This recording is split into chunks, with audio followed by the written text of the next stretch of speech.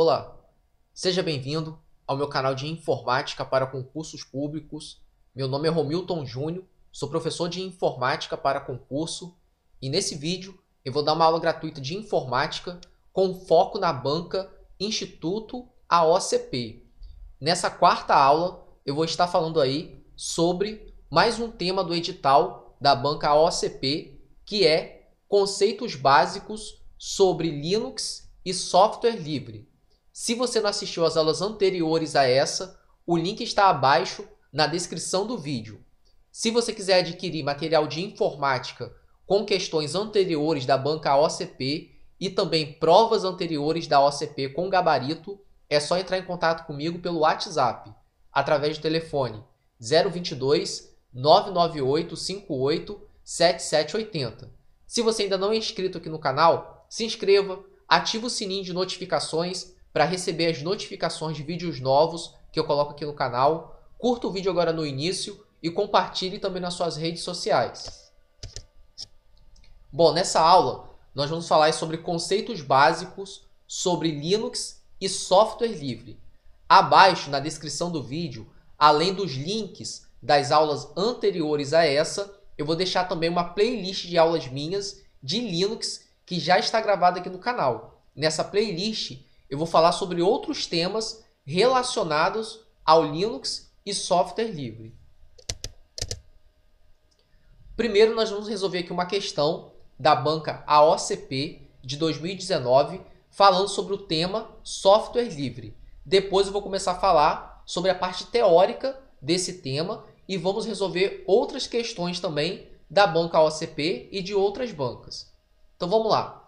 Essa é uma questão de 2019 da OCP e diz assim: Para ser considerado um software livre, este deve conceder liberdade ao usuário para que ele possa executar, copiar, distribuir, estudar, alterar e melhorar o software. Assinale a alternativa que apresenta uma, que apresenta uma das liberdades essenciais que um usuário, de, que um usuário do software livre possui. Primeira coisa que você tem que saber é qual é o significado de software. Software quer dizer o quê? Programa. É como se fosse programa livre, né? Software livre, programa livre. O que acontece? Todo programa de computador que é classificado como software livre, o usuário desse programa, ele pode fazer o que com esse programa? Ó, ele pode executar o programa, copiar, distribuir, estudar, alterar e melhorar o software. Então ele tem liberdade para fazer o que ele quiser com esse programa. O software livre é um programa que não tem licença é, proprietária. O que é uma licença proprietária? Por exemplo, o programa Windows, Windows 10, o Windows 7, o Windows 11, o Word, Excel e PowerPoint são programas proprietários. Eu não posso pegar o programa Windows, por exemplo, e, e ver o código fonte dele, como que ele foi criado. Eu não tenho esse acesso. Só a empresa Microsoft que tem acesso ao código fonte do programa Windows, o Word, Excel e PowerPoint. Tá? Agora, o programa Linux ele é um programa software livre. Por quê? Qualquer pessoa pode abrir o código fonte dele e alterar, estudar, como está falando aqui. Pode fazer cópia do, do Linux, né? que não é pirataria. Agora, quando faz cópia do Windows, o Word, já é uma pirataria. Não pode, no caso. Então vamos lá. Assinale a alternativa que apresenta uma das liberdades essenciais que um usuário do software livre possui. Letra A. O usuário pode registrar ou patentear qualquer software livre não modificado e comercializá-lo. B. Um usuário pode distribuir cópias de suas versões modificadas para outros, assim toda, toda uma comunidade pode ser beneficiada de suas alterações. C. Ao estudar com como um software livre funciona, o acesso ao código-fonte não é um requisito, e D, o usuário pode executar o programa como quiser para qualquer propósito, exceto em situações que envolvam risco à segurança do usuário ou de outros. Então, ó, lá no enunciado diz assim, ó, assinale a alternativa que apresenta uma das liberdades essenciais que um usuário do software livre possui. Resposta correta, letra B, ó. Um usuário pode distribuir cópias de suas versões modificadas para outros, assim toda uma comunidade pode ser beneficiada de suas alterações. Então você pode copiar o software livre, que não vai ser uma pirataria aí, tá? Eu vou, eu vou voltar novamente nessa questão, porque agora eu vou falar um pouco da teoria do software livre, bem pequena para você compreender. Lembrando que abaixo na descrição do vídeo, além dos, dos links né, das aulas anteriores a essa, todas com foco na banca OCP, tem a playlist de aulas minhas de Linux que já está gravada aqui no canal. Nessa playlist eu falo sobre comandos do Linux, falo sobre diretórios do Linux e entre outros assuntos, beleza? Então vamos lá, vamos entender a parte teórica sobre software livre, que é muito importante. Ó, software livre. Software livre é um programa que tem seu código-fonte aberto, ou seja, o usuário tem acesso às linhas de código do programa para modificá-lo. Exemplo de programas software livre que caem em concursos públicos. O primeiro, Sistema Operacional Linux, ele é um software livre. Cliente de e-mail, Mozilla Thunderbird e Eudora são dois programas cliente de e-mail que são software livre. Quer dizer o quê? Que você tem acesso ao código fonte desses programas para modificá-los e pode copiar eles, que não é pirataria. Suíte de escritório, LibreOffice, Writer, Calc, Impress, Base, Match, Draw. Esses programas são software livre também. E o navegador, o browser, Mozilla Firefox, também é um programa software livre. Quais são as liberdades do software livre? Os programas software livres têm quatro liberdades, que são quais? Executar, o usuário pode executar o programa, estudar o programa, né? Para estudar é, é preciso entrar onde? No código fonte do programa, para eu saber como ele foi criado, tá? 3. Copiar esse programa, copiar que é a mesma coisa de redistribuir. E 4. Modificar o programa, que é a mesma coisa de alterar. Então tem quatro liberdades no software livre: executar, estudar, copiar e modificar. Beleza?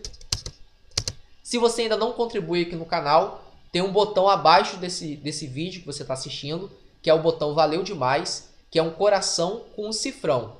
Você clicando nesse botão, vai aparecer essa mensagem para você, onde você vai digitar aqui um comentário aqui da aula, né? E contribuir com algum valor, que pode ser R$ reais, 5, 10 ou 50 reais. Após digitar seu comentário e escolher o valor para contribuir, é só apertar aqui em comprar e enviar. Dependendo do valor que você escolher, o seu comentário vai ficar de uma cor. Caso você pague 10 reais, eu vou disponibilizar para você um simulado com 10 questões desse assunto que você está estudando. Caso você pague 50 reais, eu vou disponibilizar para você um curso focado também nesse assunto que você está estudando. É só você efetuar o pagamento e entrar em contato comigo pelo WhatsApp. Após você apertar em comprar e enviar, vai vir para essa tela onde você vai digitar os dados do seu cartão de crédito.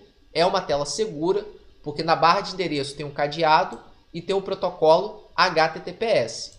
Após você digitar os dados do cartão, é só apertar em comprar. Mas qualquer valor que você contribuir aqui vai estar me ajudando no crescimento do canal.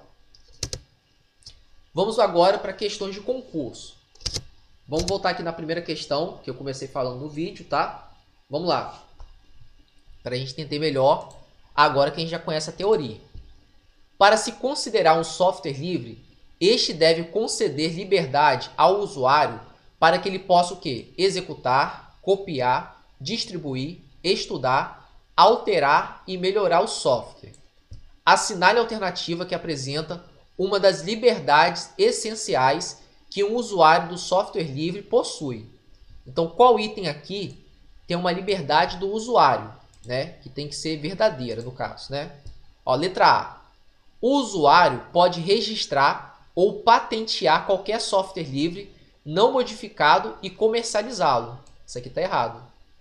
Porque um software livre não pode ser registrado nem patenteado para ser vendido, porque ele é gratuito. Todo software livre é gratuito. Você usa gratuitamente, tá? É importante saber disso. A B, que é a resposta correta, diz assim, ó: um usuário pode distribuir cópias de suas versões modificadas para outros. Assim, toda uma comunidade pode ser beneficiada de suas alterações. Então, a pessoa que modifica o código-fonte do software livre, por exemplo, do Linux, ele pode distribuir para outras pessoas conhecer essa nova versão do, do Linux que essa pessoa criou, através da modificação do código-fonte. Então, isso aqui está correto. C. Ao estudar com um software livre, ao estudar com, com, como um software livre funciona, o acesso ao código-fonte não é requisito. Isso aqui está errado. Por quê? Você tem acesso ao código-fonte de qualquer software livre. E a D. O usuário pode executar o programa como quiser, para qualquer propósito, exceto em situações que envolvam risco à segurança do usuário ou de outros. Isso aqui também não tem nada a ver com software livre. Resposta correta, letra B. Próxima questão de outra banca, falando também de software livre. Vamos lá.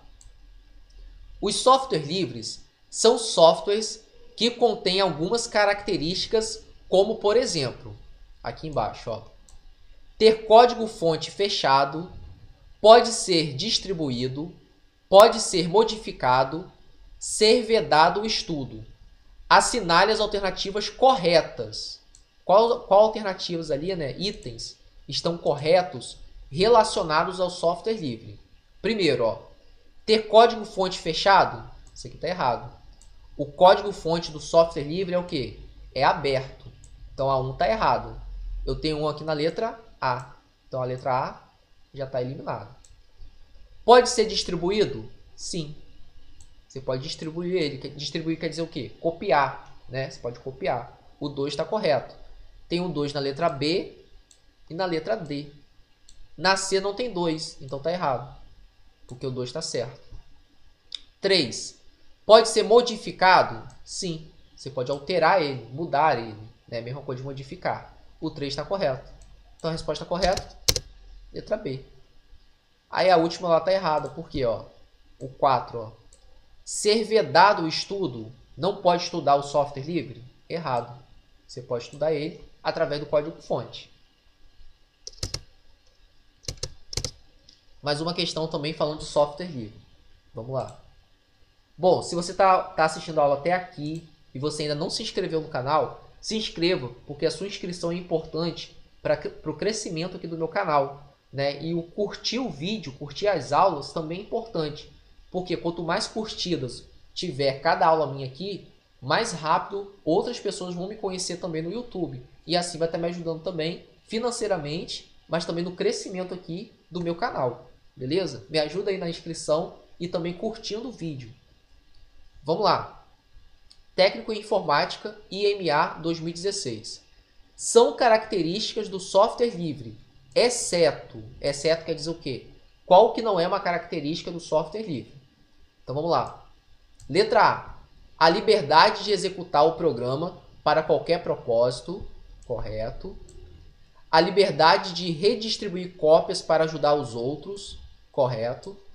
A liberdade de aperfeiçoar o programa apenas em caso de autorização do usuário que o modificou e disponibilizar essa versão aperfeiçoada apenas após um período de teste. E a D, permitir a criação de software proprietários a partir de software que tem esse, essas licenças. Resposta correta é a D. Ó. Essa D está errada.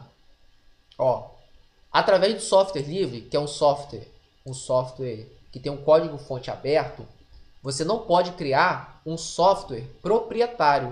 O que é um software proprietário? É aquele que tem uma licença paga. Por exemplo, o Windows ele é um software proprietário. Ele tem uma licença paga a qual empresa? A Microsoft. Microsoft Windows. Microsoft é a empresa, o Windows é o programa. Então, a partir de um software livre, você não pode criar um software proprietário. Os outros itens aqui estão corretos. Mais uma questão, também falando de software livre. Em relação ao Linux, pode-se afirmar que ele é um software livre. Aí, primeiro item. Deixa eu pegar a caneta aqui. Somente por ele ser um, um software gratuito, ó, o Linux é um software livre. Mas ele é software livre somente por ele ser um software gratuito? 2.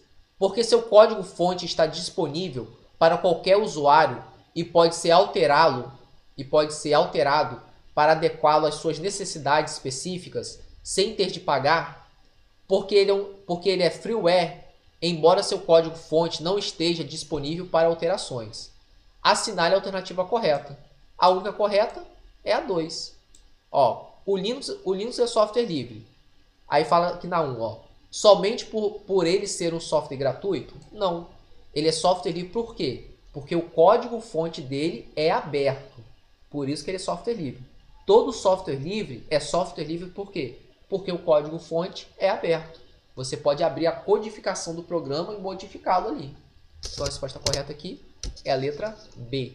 Somente a afirmativa 2 está correta. Se você ainda não participa da minha comunidade aqui do YouTube, você vai na página inicial do meu canal do YouTube, tem a guia início, vídeos, playlists e comunidade. Você clica aqui em comunidade e abaixo vão ter várias questões de informática para concurso para você responder e o gabarito vai estar nos comentários. Participa da minha comunidade e compartilhe também nas suas redes sociais. Se você gostou da aula, comente, compartilhe e inscreva-se no canal. E não deixe de assistir as aulas anteriores a essa e a playlist de aulas de Linux que está abaixo na descrição do vídeo. Um grande abraço e até a próxima aula.